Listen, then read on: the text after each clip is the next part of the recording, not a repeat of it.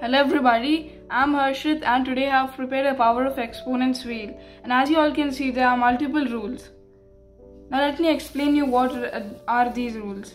For example the quotient rule. x raised to m by x raised to n equals x raised to m minus n.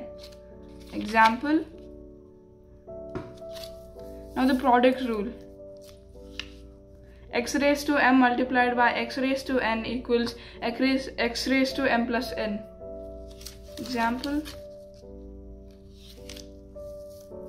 Power of a quotient rule a raised to m multiplied by b raised to m equals a into b raised to m. Now zero exponent rule a raised to 0 equals 1.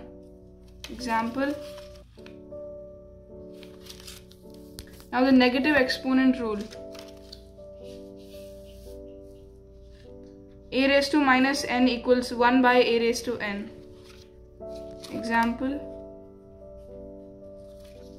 Now the power of a product rule. a raised to m multiplied by b raised to m equals a into b raised to m. Now I'll show you how to make this wheel.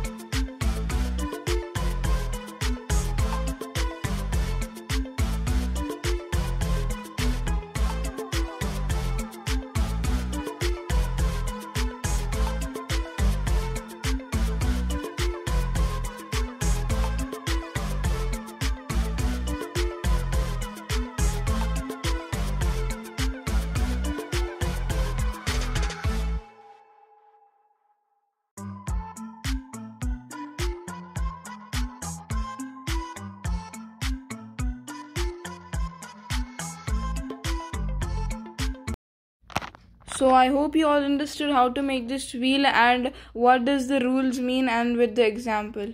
Thank you for watching